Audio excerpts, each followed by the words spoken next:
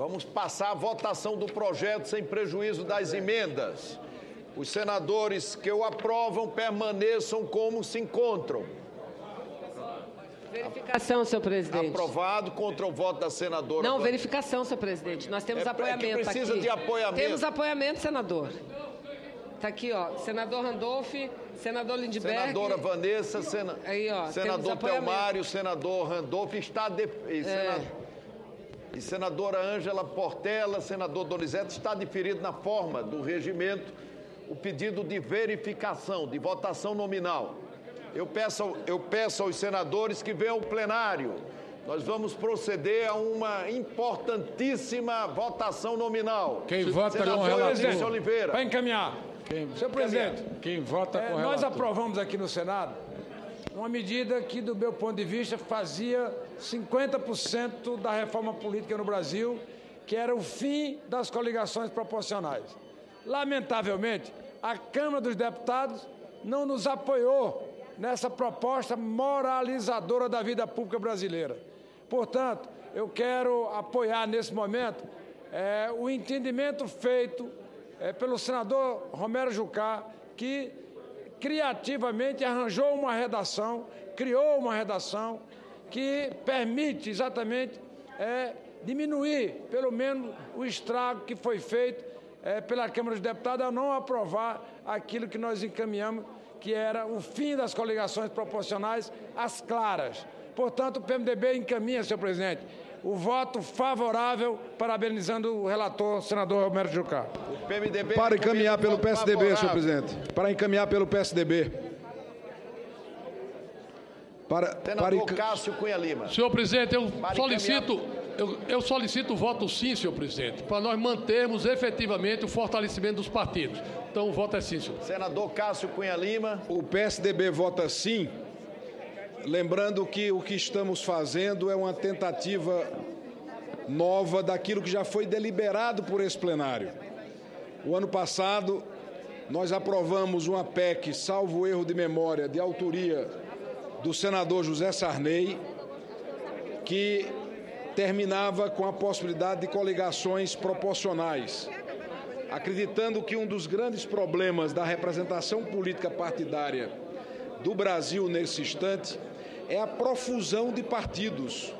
Não há uma única democracia sólida no mundo que tenha 28 partidos com representação na Câmara, como acontece no Brasil da regra como está, dos atuais 28, numa próxima eleição nós vamos para 30, 32, 35, 40 partidos. Não há espectro de representação no tecido social que justifique essa profusão exagerada de partidos. Portanto, o Senado aprovou uma emenda à Constituição que proibia as coligações proporcionais, mas dentro da sua autonomia, o que lamento, a Câmara rejeitou a PEC. Havia uma discussão se essa matéria poderia ser tratada por lei infraconstitucional. Após consulta a diversos juristas, concluiu-se que sim, esta matéria pode ser objeto de lei ordinária, lei complementar, de lei ordinária, melhor dizendo, e vai aprimorar o sistema de representação, porque permitirá que os partidos que tenham efetiva representação popular sejam representados no parlamento, seja na Câmara, seja no Senado. Então, nós estamos com uma proposta extremamente importante. O PSDB recomenda à sua bancada o voto sim e pede a todos os partidos que também possam apoiar a iniciativa, de forma tal a resolvermos em definitivo uma das maiores distorções do sistema político brasileiro, que é a profusão de partidos sem que haja nesses partidos uma vinculação com segmentos efetivos da nossa sociedade. O PSDB vota sim. Senhor presidente, Senhor presidente. Senhor presidente. senhor presidente, Senador Ronaldo Caiado, senador Humberto Costa, senador Fernando Collor e senador Donizete.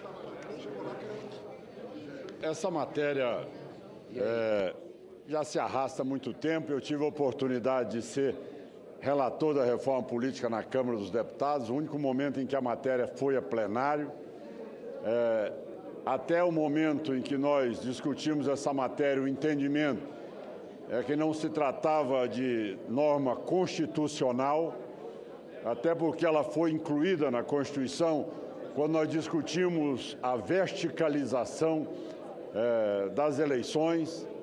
E a partir daí, senhor presidente, são várias as interpretações. A interpretação trazida é, pelo nobre relator e que foi aprovada na comissão dará oportunidade para que seja feita uma coligação, lógico, que no momento da contagem dos votos, essa contagem será feita separadamente, sem contar eh, o coeficiente eleitoral para todos os partidos. Com isso, nós teremos aí uma, lógico que teremos aí uma diminuição da presença dos partidos que vão caminhar numa coligação, principalmente aqueles que se sentirem é, fora da condição de apresentar o número de candidatos capaz de atingir o quociente eleitoral. Mas, ao mesmo tempo, essa matéria deveria ter sido tratada é, no mesmo momento da federação dos partidos, até porque na federação partidária é dado exatamente a oportunidade para que se faça uma fusão dos partidos, uma federação dos partidos, desculpe, não fusão, uma federação dos partidos, que eles terão obrigatoriedade de permanecerem durante a legislatura unidos é, mantendo essa unidade da campanha eleitoral para terem funcionamento parlamentar e, como tal, aí eles terão sim o benefício de serem tratados como um partido único, se beneficiando do coeficiente eleitoral. Como tal, senhor presidente, a posição do democrata será sim, sabendo que essa matéria terá que ser muito bem trabalhada também com a Câmara dos Deputados, porque é uma matéria relevante. E antes de encerrar, senhor presidente, eu dirijo a mesa para solicitar de Vossa Excelência, senhor presidente, a mesa diretora, que como nós estamos tratando de matéria da mais alta importância, eu pediria à mesa, senhor presidente, que pudesse nos relatar quais são os projetos que estarão sendo discutidos na sequência deste. Até porque o senador Jorge Viana, ao estar na mesa, antes de Vossa Excelência, diz que as matérias que vieram da Câmara dos Deputados e que são coincidentes com as matérias do Senado, elas não serão apreciadas nessa sessão e serão em agosto. Então, como tal, senhor presidente, até para nós alimentarmos a nossa Sem assessoria dúvida. e tomarmos conhecimento, quais os projetos serão então votados na noite de hoje sobre a reforma política. Muito é... obrigado, senhor. O voto é sim.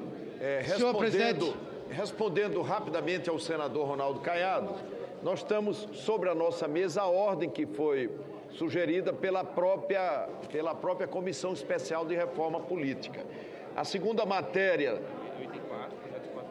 é o item 4, projeto 441, que altera a lei para determinar critérios para o acesso aos recursos do fundo partidário e a propaganda partidária em rádio e televisão. Diga aí, meu presidente. O, o seguinte, é o item 10, é projeto de lei do Senado 476, complementar, que altera a lei complementar 64 para estabelecer nova condição de inelegibilidade de magistrados e membros do Ministério Público.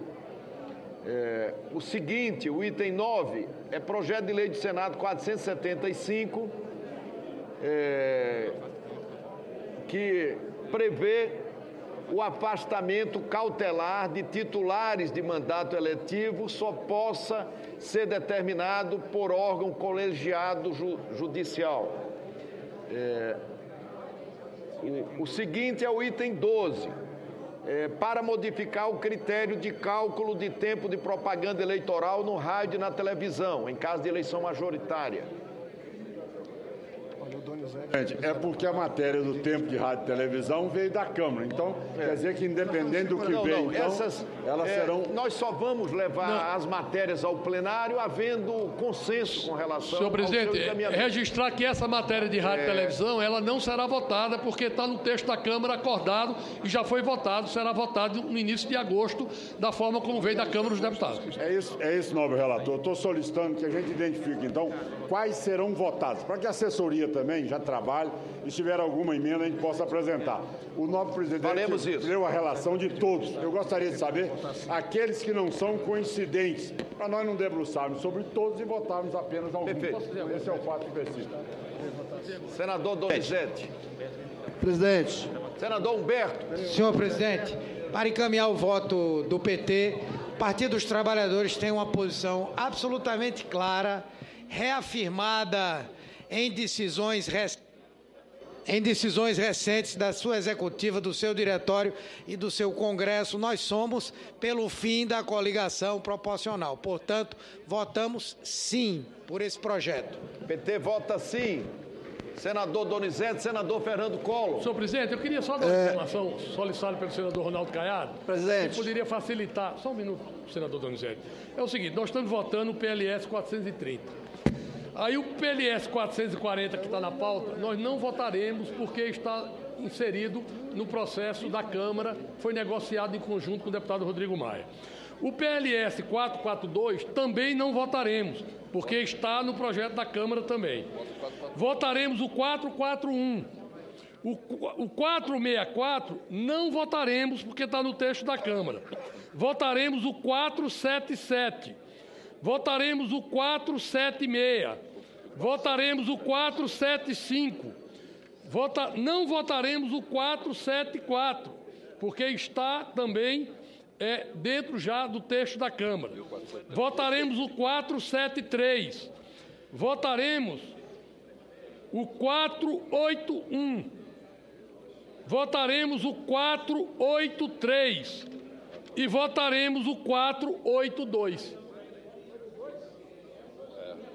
O 481. E o 464? Não, o 481 não, o 481 não votaremos, que também é tempo de televisão. Não votaremos, porque está inserido também no projeto da Câmara. O 464, senhor presidente. É, senador Fernando Collor. 464 não será votado, porque está inserido no projeto da Câmara, já foi negociado. O senador Romero já definiu um critério. É, as matérias que estiverem inseridas nesse critério, elas não serão apreciadas. É, senador Fernando Collor, como vota o PTB?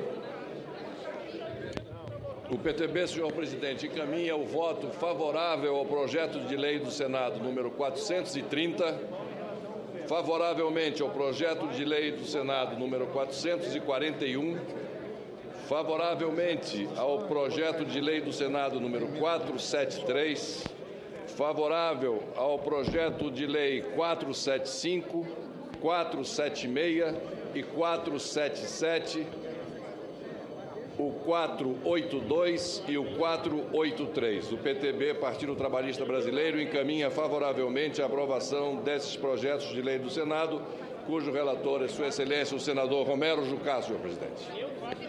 Presidente. Senador Donizete. Presidente. Presidente, seguindo a proposta pelo voto sim, a gente quer registrar o destaque na minha emenda que diz respeito às sobras.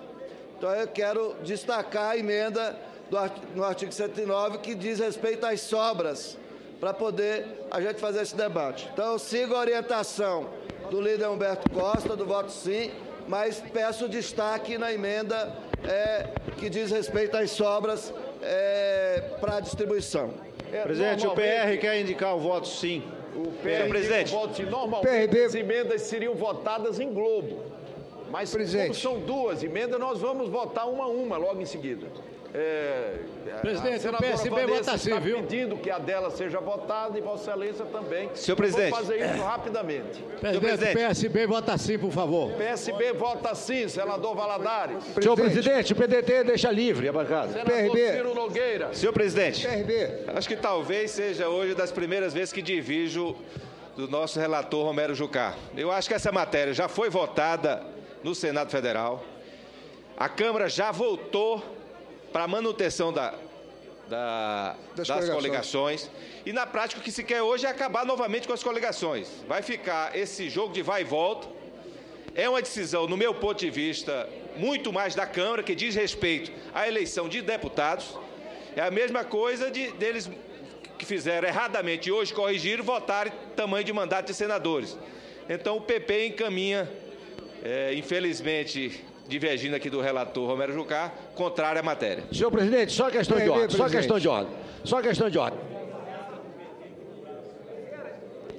Se é de acabar com a ligação, seria melhor, porque um, um partido saía com a canchapa cheia e ele chegava ao coeficiente. Agora isso aí é uma falsa coligação. O partido sai só pela metade e não chega ao coeficiente e fica de fora. Isso é uma injustiça. Então tira a coligação, que aí o partido sai com chapa cheia. Presidente, PRB. PRB, presidente, encaminha. PRB, presidente, está aqui, ó, no canto. Crivella, como vota o PRB? O PRB vota não, senhor presidente, porque o princípio da República é pluripartidarismo. E aí, nós estamos votando o pluribipartidarismo. Nós vamos fazer um fla-flu na política do nosso país. Nós vamos encerrar a votação e proclamar o resultado.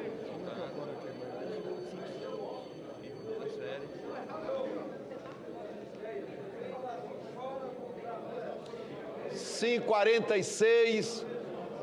Não, nove votos. Está aprovado o texto base do projeto de lei do Senado 430. Senhor presidente, eu agradeço o voto das senhoras e senhores senadores, registrando a importância do fortalecimento dos partidos e o passo que o Senado dá novamente no sentido de consolidar a política brasileira. Nós vamos votar uma a uma as emendas. Em primeira emenda da senadora Vanessa Graziotin. É, é, a emenda número 1 um de parecer contrário. O parecer é contrário, senhor presidente. A orientação de voto é não. Que... Os senadores que aprovam permaneçam como se encontram. Aprovam o que, senhor presidente? O parecer ou a emenda? A emenda, a emenda. Então, levantamos a mão e votamos não, senhor presidente. Aprovou, senhor é, rejeitada a emenda da senadora Vanessa. Com os votos favoráveis, senadora Vanessa, senador Randolph e outros senhoras e senhores senadores. Em votação a emenda número 2. O parecer é contrário, senhor. Do senador Donizete, com parecer contrário do senador Romero Jucá. Senador Não. presidente, eu quero Não. manter a emenda, a discussão, né, que eu considero necessário para poder garantir a pluralidade sem tirar a questão da cláusula de barreira colocada nesse projeto que é da, das coligações. Mas eu não posso admitir que é, fique desproporcional aquele exemplo que eu dei. Então eu peço que a gente vote a favor dessa emenda porque ela aperfeiçoa o projeto é, trazido da comissão. Ela não atrapalha, ela não vai contra o mérito do projeto, mas ela aperfeiçoa o projeto que veio da comissão. É, voto... Parecer contrário e registramos que se houver necessidade de entrar as sobras, que a Câmara apresente o destaque e apresente a emenda, modifique o projeto e nós iremos apreciar aqui novamente. A manutenção é pelo projeto original, o voto é não, senhor presidente. O parecer é contrário. As senadoras e senadores que aprovam a emenda permaneçam como se encontram. A orientação é não, senhor. Está rejeitada a emenda do senador Donizete. Senhor presidente, na votação do projeto principal, eu orientei o voto sim, mas me esqueci de votar. Então, por favor, registre. A ata registrará a manifestação de Vossa Excelência. Votação da última emenda, emenda número 3, de plenário. Senador Donizete Nogueira. Comparecer. Contrário, senhor presidente. Comparecer contrário do senador da, Romero Jucá.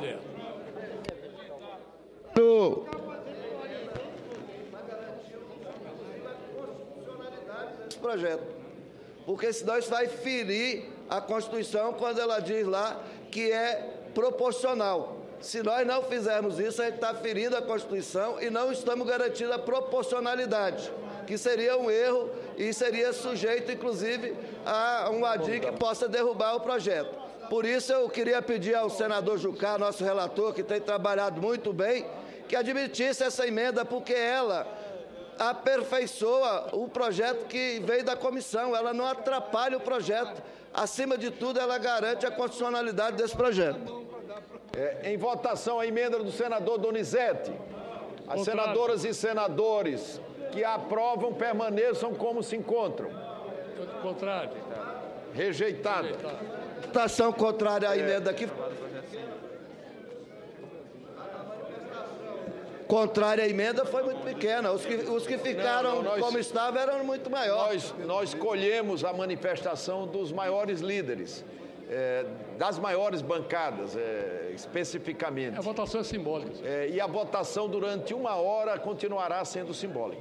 Há sobre a mesa parecer da comissão diretora oferecendo a redação final, que será publicada na forma regimental. Discussão da redação final. Não havendo quem queira discutir a redação final, nós declaramos cerrada a discussão da redação final e passamos à votação da redação final. Os senadores e as senadoras que aprovam a redação final permaneçam como se encontra aprovada a redação final. A matéria vai à Câmara dos Deputados.